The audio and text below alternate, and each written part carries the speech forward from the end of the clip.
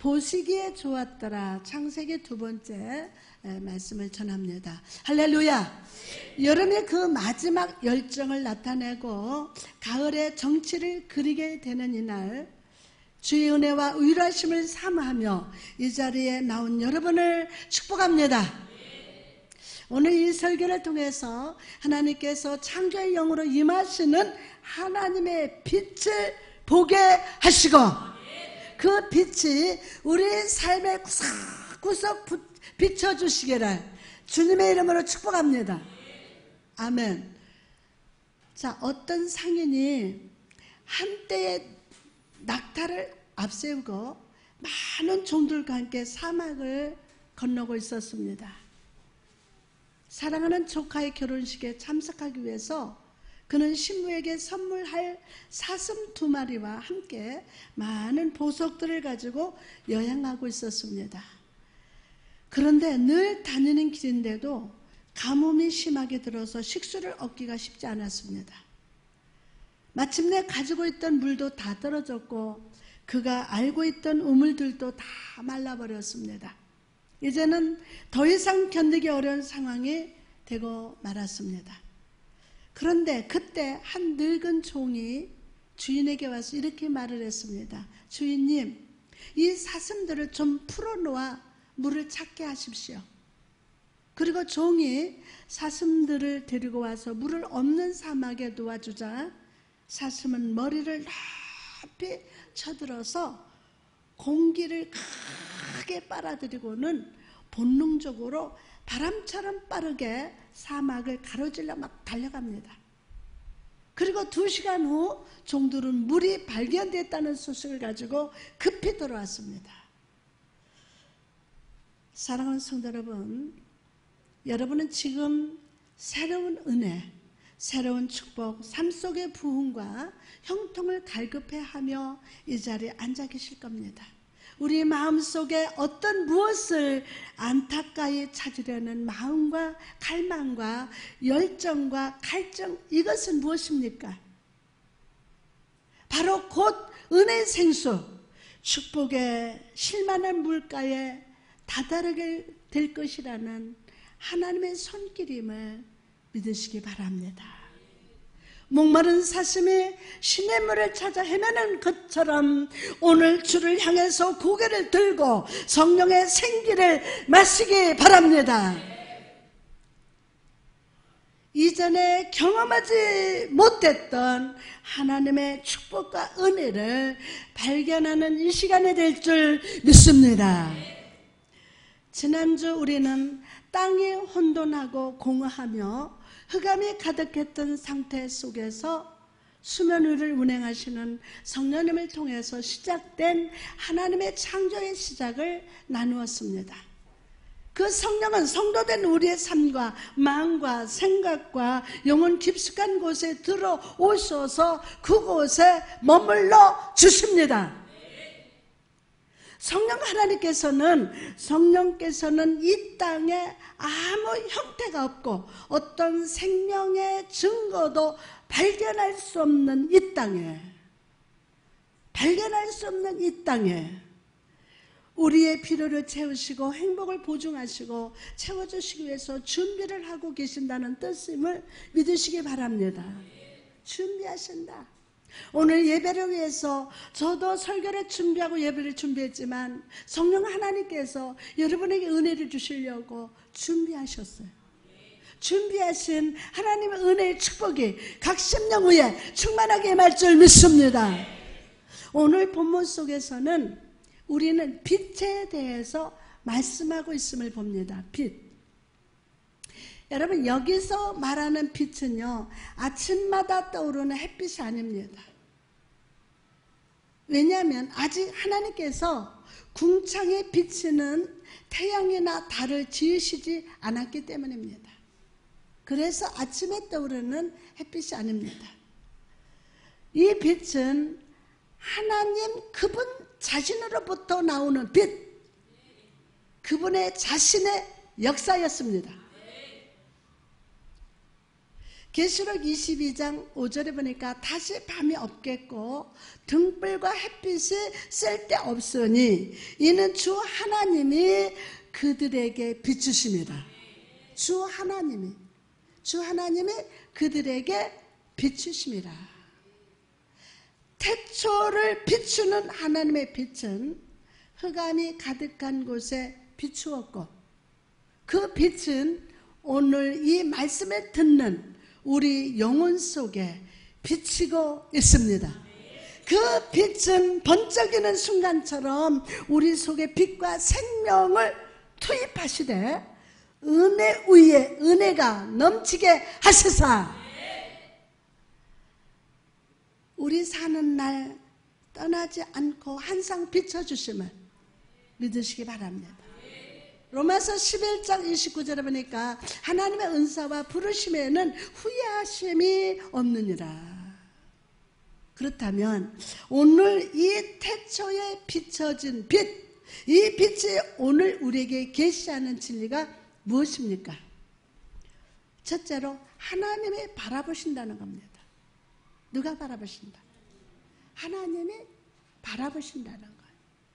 본문 사절 보니까 빛이 하나님 보시기에 좋았더라. 빛이 누구의 보시기에?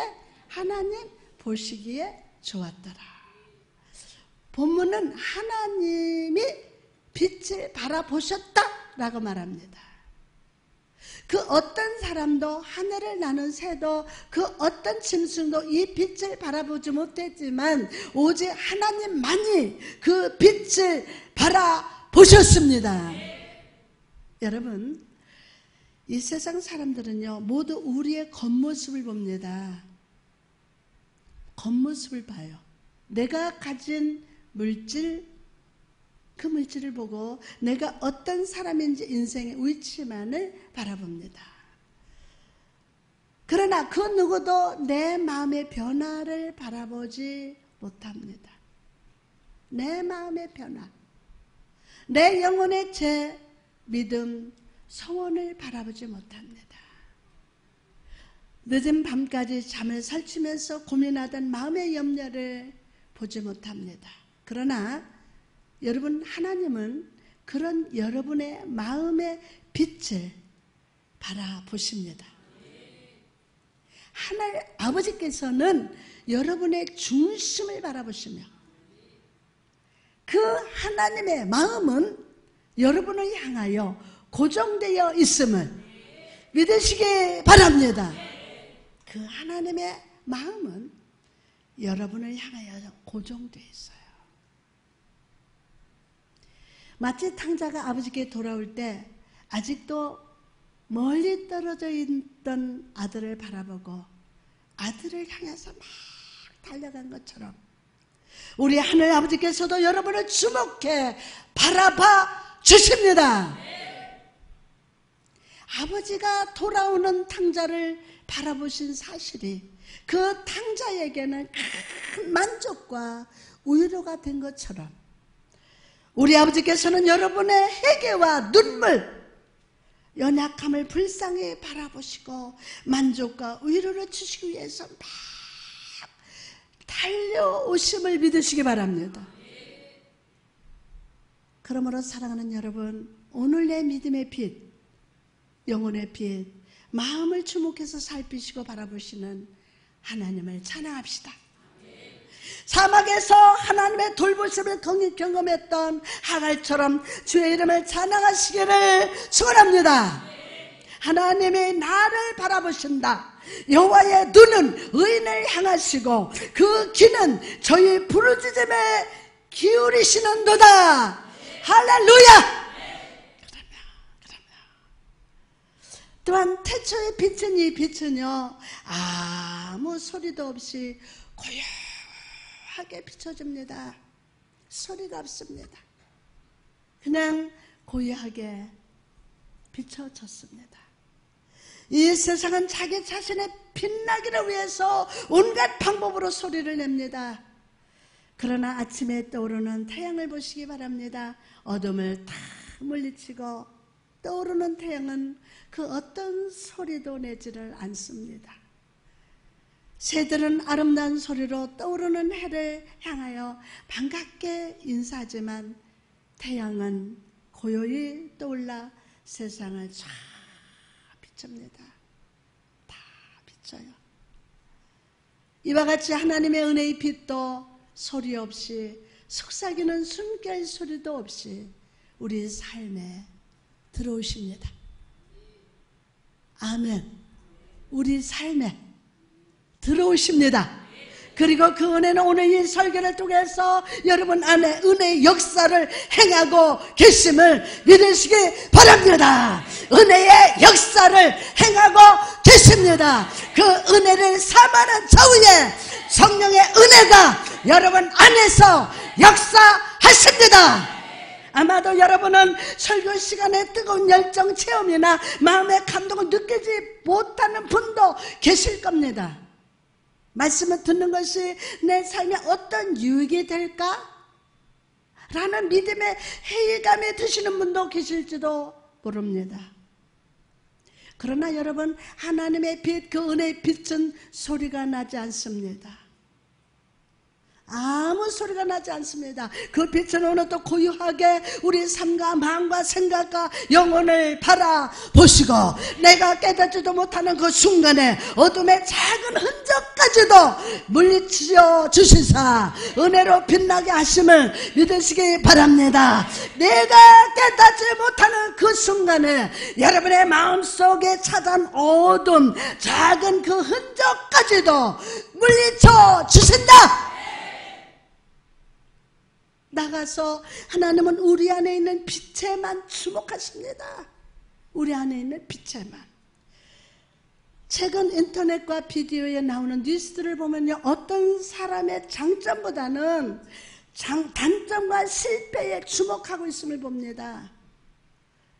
심지어 그 실패한 사람의 가족과 자녀들의 신상 정보를 인터넷에 다 공개해서 차마 입에 담지 못할 욕을 막 하기도 합니다. 무섭습니다.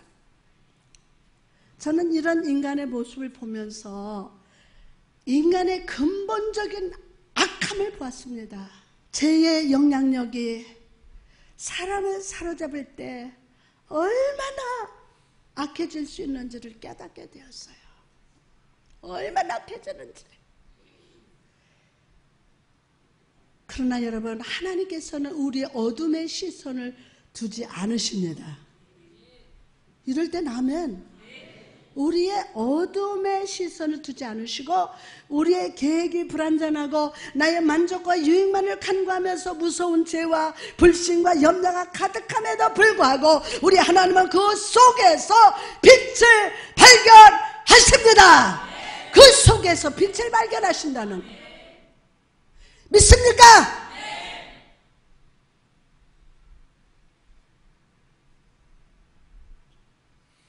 빛을, 빛을 모든 죄는 예수 그리스도의 보혈로 덮어 주십니다. 우리 하나님은 그 속에서 빛을 발견하시고 모든 죄는 예수 그리스도의 보혈로 덮어 주십니다.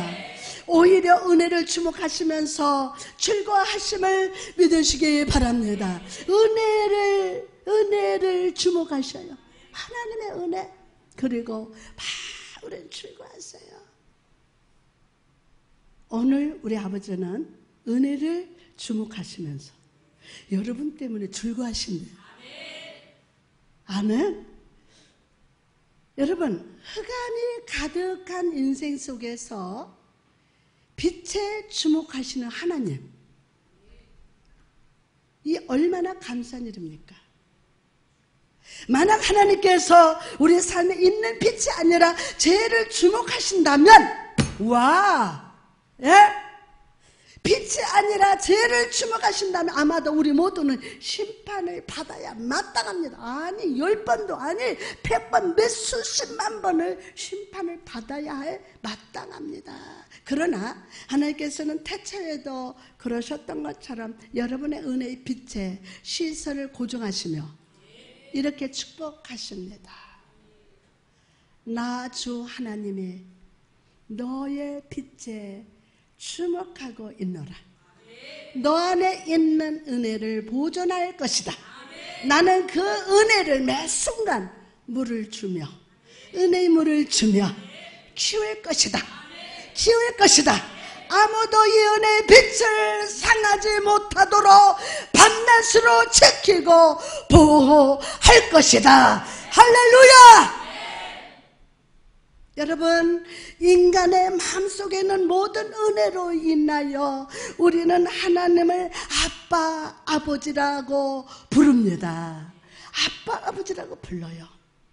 우리가 부를 때마다 하나님은 그 소리를 들으시고 그 소리가 나오는 방향으로 눈과 마음을 돌리십니다.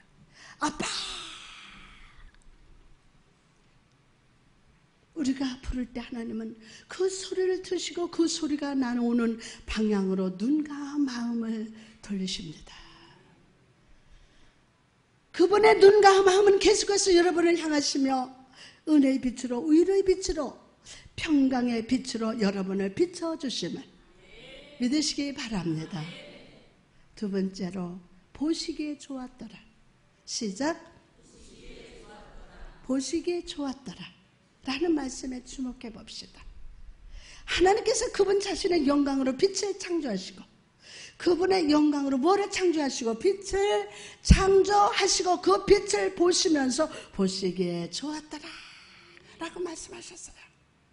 그럼 하나님께서 빛이 보시기에 좋았다 라고 하신 이유가 무엇입니까? 그 이유가 첫 번째 이유는 그 빛 자체가 하나님 보시기에 완전했기 때문에 하나님 보시기에 자 빛에 대해 연구하는 학자들의 말을 들어보면요 빛의 성질과 특징에 대해서 아직 10분의 1도 발견하지 못했다고 합니다 연구를 하면 할수록 그 빛 안에는 이전에 우리가 알지 못했던 다양한 색깔과 특징들이 있다는 것을 알게 된다고 합니다.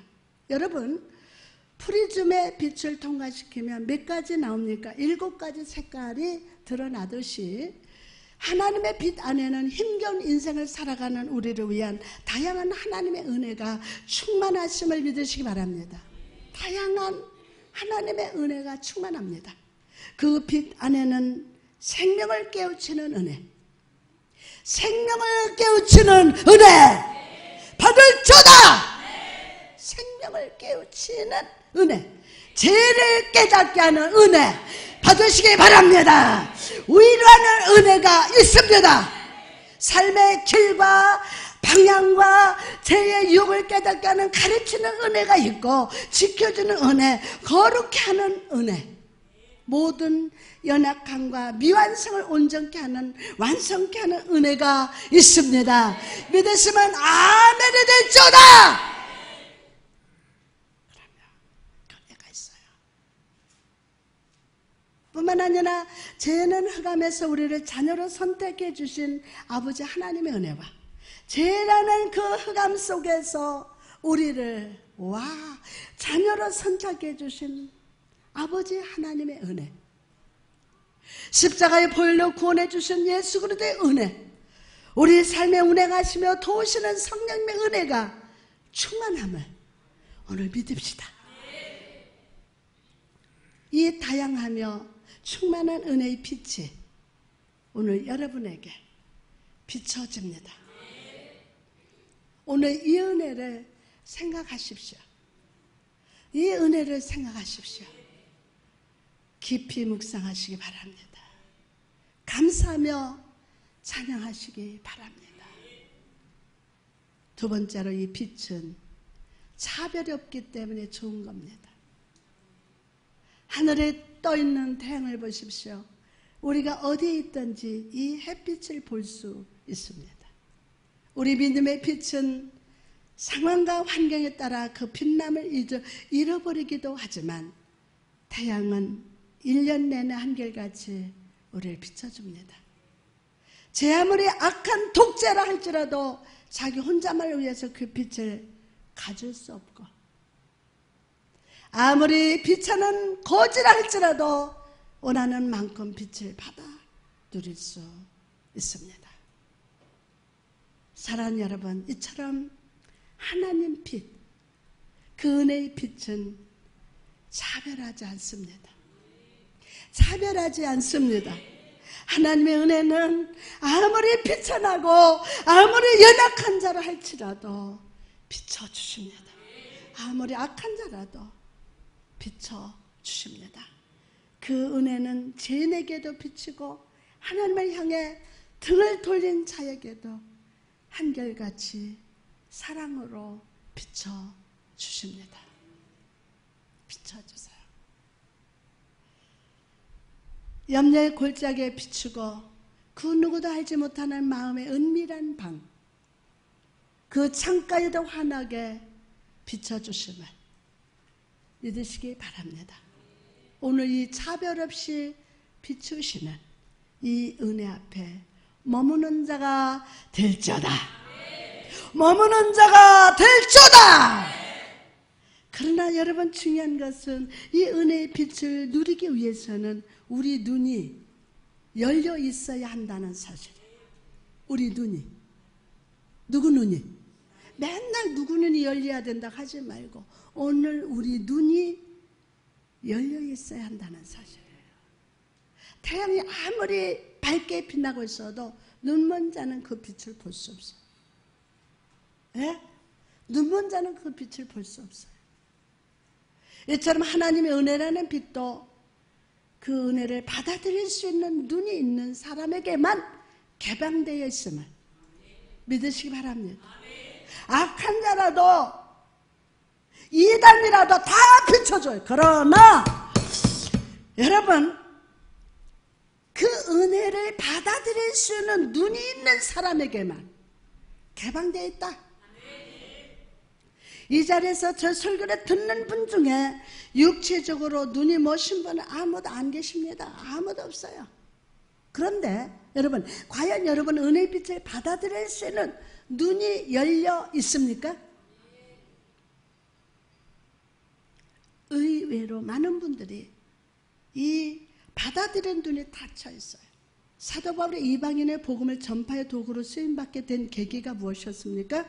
담에색 두상에서 예수 그들을 만나고 눈에서 무지와 교만의 꺼풀이 떨어졌을 때가 아닙니까?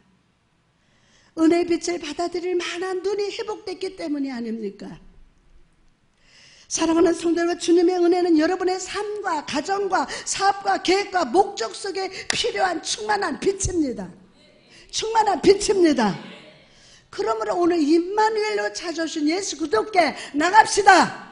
바디에메처럼 주님께 나가서 간절히 간절히 부르짖어 기도합시다. 다윗의 자손 예수여 나를 불쌍히 여겨 주옵소서 내가 은혜를 받아들일 만한 눈이 열리기를 원합니다. 나를 만지사 보게 하옵소서. 나를 만지사 보게 하옵소서. 할렐루야. 그 역사가 일어날 줄 믿습니다. 나가서 이 빛은 능력으로 역사하기 때문에 좋은 것입니다. 능력으로 역사하기 때문에. 빛은 거미줄보다 더 가늡니다.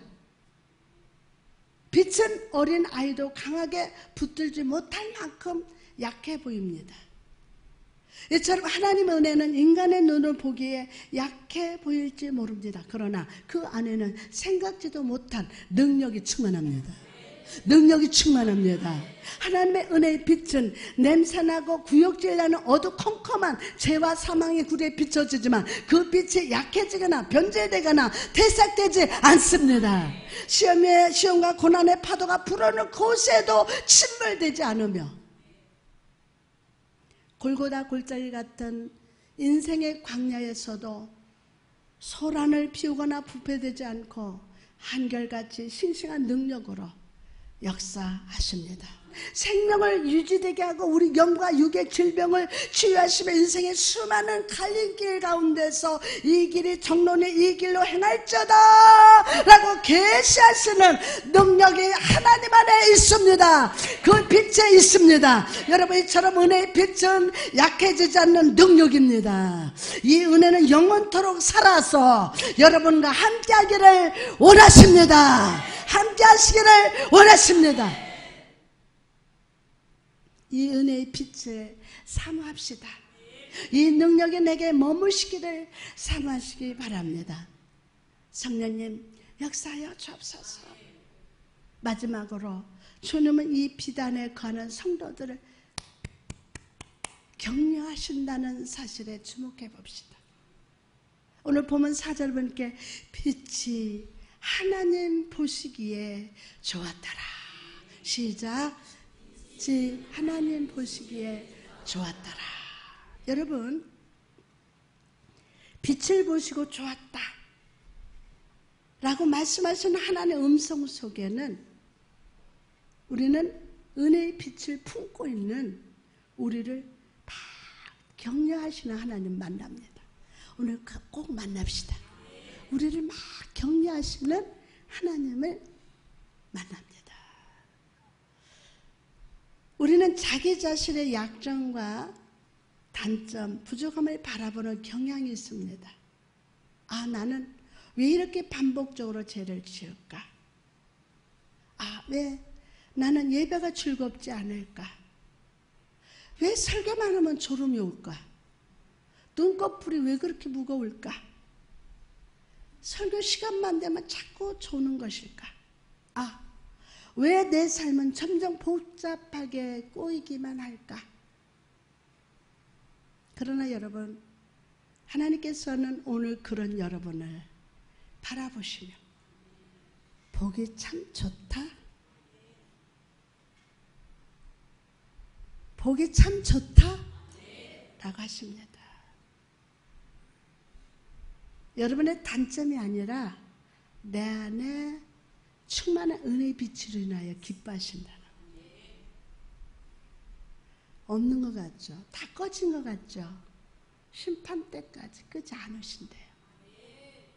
비록 내 믿음이 어머니 품에 안긴 어린아기처럼 연약해도 한결같이 사랑하시며 어제보다 오늘 더 오늘보다 내일 더 내게 필요한 은혜를 쌓아놓고 축복해 주시는 믿으시기 바랍니다. 그러므로 사랑하는 여러분, 오늘 나 자신을 평가하던 기준을 내가 아니라 하나님께 둡시다. 하나님께. 그리고 이렇게 고백하십시오. 하나님은 나를 바라보기에 좋다고 하셨다. 제가 그런 설교한 게 있죠. 참 여러분 좀 힘들어요. 너무너무 어려워 아프기도 하고 삶의 고개가 너무 높아. 근데 하나님 보시기에 아름답다 말씀하시면 선이 된다. 하나님 보시기에 좋았더라. 하나님 은혜의 빛을 생명의 빛을 여러분 안에서 막 충만하게 역사하신다. 하나님은 나를 바라보고 보기에 좋다고 하셨다. 하나님께서 나의 삶에 선한 일을 시작하셨다고 나는 주님의 경위 안에서 완성될 것이다. 오늘 은혜로 격려하시는 하나님으로 인하여 힘을 내시기 바랍니다. 힘을 내십시오. 힘을 내십시오. 힘을 내십시오. 다시 힘을 내기로나 내게 맡겨주신 주의 사명을 열정을 품고 충성되게 감당하며 은혜의 향기를 바라시기를 축원합니다. 또한 내가 하나님의 격려를 받았다면 여러분도 격려하는 사람으로 사십시오. 말 한마디가 천냥빛을 갚는다? 라는 말이 있는 것처럼 오늘 우리가 어떤 말을 내뱉느냐에 따라서 한 사람이 살아날 수도 있고 또 죽을 수도 있어요. 낙심하며 넘어질 수도 있고 그 말에 디딤돈 삼아 일어날 수도 있습니다. 여러분의 주변에 격려의 말을 듣고 싶어하는 연약한 영혼들이 있습니다. 만약 우리가 은혜의 빛을 받은 자로서 난폭한 입술과 까다롭고 비판적인 말을 내뱉는다면 그 사람은 하나님의 근심이 될 겁니다. 당자가 아버지께 돌아왔을 때 그 당자를 향하여 비판했던 자가 누굽니까? 당자보다 나이가 많던 가장 가까운 형이 아닙니까? 누가복음 15장 30절 말씀 보니까 아버지의 살림의 창녀들과 함께 삼켜버린 이 아들이 돌아오매 이를 위해서 살진 송아지를 잡으셨나이다. 여러분 저는 여러분이 비판하는 형님의 생각으로 사는 자가 되지 않기를 바랍니다. 세월이 흐를수록 육신은 늙어가지만 여러분의 마음과 은혜만큼은 언제나 청춘으로 사십시오. 청춘으로 사십시오. 그러면 청춘으로. 성령께서 여러분의 입술에 할례를 베푸시고 선한 것을 탐색하게 하는 눈을 열어주셔서 만나는 사람마다 은혜를 발견하고 그 은혜를 격려하며 서로 세워주는 거룩한 사랑의 삶을 살아가시기를 주의 이름으로 축원합니다. 할렐루야. 성령은 그렇게 기름 부시고 축복하여 주옵소서.